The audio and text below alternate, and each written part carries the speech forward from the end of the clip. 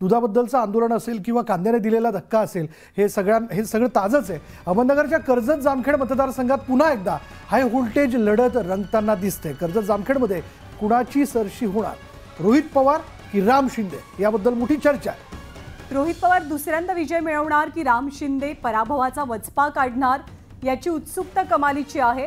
सध्या हा मतदारसंघ राष्ट्रवादीच्या शरदचंद्र पवार पक्षाच्या रोहित पवार. यांच्यासाठी अनुकूल मानला जातोय तर भाजपच्या राम शिंदेंसाठी प्रतिकूल मतदारसंघ. पुन्हा एकदा लक्ष्मण यांच्याकडे आपण जाऊया. लक्ष्मण राज्यातल्या हाय व्होल्टेज लढतीमध्ये किंवा पवारांची प्रतिष्ठा जिथे जिथे पणाला लागली आहे त्यापैकी हा एक मतदारसंघ. इथली गणितं नेमकी कशी आहेत? खरं तर या मतदारसंघात जर बघितलं तर राम शिंदे आणि रोहित पवार यांच्यामध्ये एकदम सरळ लढत जी आहे ती शेवट शेवटपर्यंत आपल्याला पाहायला मिळाली. शेवटचा जर आपण एक पंधरा दिवसापूर्वीचा जर विचार केला तर काटेकी टक्कर या मतदारसंघात रोहित पवार आणि राम शिंदेमध्ये होते. मात्र गणित बिघडलं ते पाशा पटेल यांच्या सभेनं.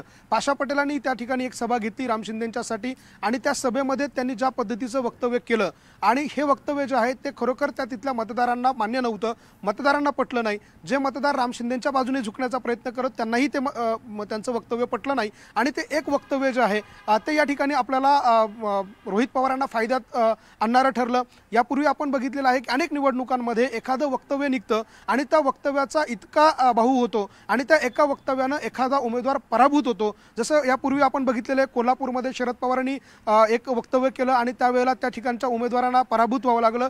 ते बैल जोड्याचं अर्थात बैलाचं जे उदाहरण होतं गाई बैलाचं ते उदाहरण दिल्यामुळे पवारांना त्या ठिकाणी फटका बसला. अगदी तसं असंच या मतदारसंघामध्ये घडलं. पाशा पटेलांनी रोहित पवारांच्या बाबत एक वक्तव्य केलं आणि ते वक्त वक्तव्य इतकं वादग्रस्त ठरलं की त्याचा इम्पॅक्ट इतका झाला की रोहित पवारांच्या बाजूने एक सहानुभूतीची एक मोठी लाट जी आहे ती आपल्याला पाहायला मिळाली आणि त्याचा फायदा या मतदारसंघात रोहित पवारांना होताना पाहायला मिळाला. जसं यापूर्वी मंदार सरांनी आपल्याला सांगितलं की या मतदारसंघांमधला दुधाचा प्रश्न आहे तितकाच कांद्याचा प्रश्न देखील या मतदारसंघात आहे. कांदा असेल दूध असेल हे जे प्रामुख्यानं जे शेतीशी निगडीत जे भाग आहे त्याच्याशी तिथले प्रश्न महत्त्वाचे आहे. आणि या सगळ्याच्या बाबत रोहित पवार वारंवार आवाज उठवत आले आंदोलनं करत आले. शेतकऱ्यांसाठी ते रस्त्यावर उतरलेले असतील किंवा आंदोलनं करत असतील. हे सगळं रोहित पवारांच्या पथ्यावर पडलं आणि या ठिकाणी पवारांची प्रतिष्ठा आहे असं म्हटल्यावरती पवारांना मानणारा जो वर्ग आहे तो निश्चितपणे या वेळेला रोहित पवारांच्या बाजूने उभा राहिलेला आहे. इथे कुठेही रोहित पवारांचा भाऊ त्यांच्यासमोर नाही किंवा त्यांच्याच कुटुंबातला माणूस नाहीये. आणि म्हणून या ठिकाणी रोहित पवारांना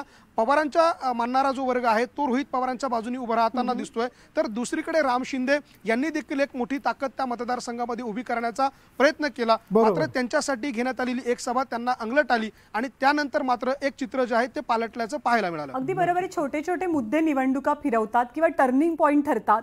तर हे कोणते मुद्दे या दोघांसाठी टर्निंग पॉईंट ठरतील?